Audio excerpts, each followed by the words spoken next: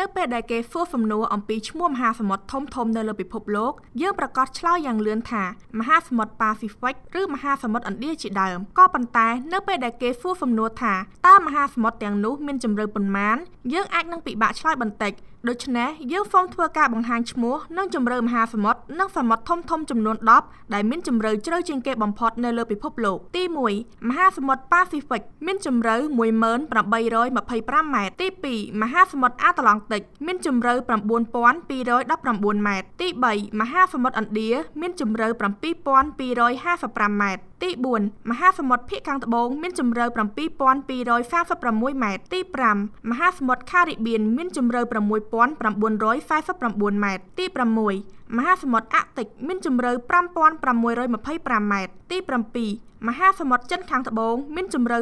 5016ម៉ែត្រទី8សមុទ្រ Bering មានជម្រៅ4773ម៉ែត្រទី9សមុទ្រ Mediterranean មានជម្រៅ4632ម៉ែត្រនិងទី10ឈូងសមុទ្រ Mexico មានជម្រៅ3787ម៉ែត្រកម្មវិធីនេះឧបត្ថម្ភដោយ